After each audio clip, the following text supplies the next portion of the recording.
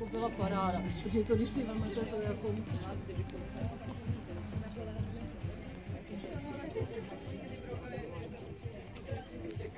Čau, tak co?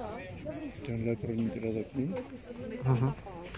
Já vám neprezentuje republiku No, ve Francii. já říkala posledně mališka. Teda. Ale tak víš co. A někde se umístí někde tam. To je ona, nebo, ona má ten že jo? No, ale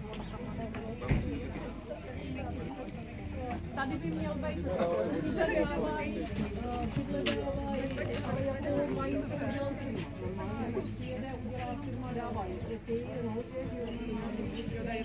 jo. Daj, daj dohodě, a nechají jako celý prostě, jako by od firmy, akorát, že jako jsme říkali, že vole, jde jak kanec, to je rychle běží. Tak jsem říkala, jak je, bych práci, to bych chtěla, že chlapi v práci tam udělali nějaký, mají vymyšlený, že který se dají nakoupit a, a že bychom tam prostě udělali a ještě, že bychom vzali zaměstnance práce, Ondra, a teď jako, že bychom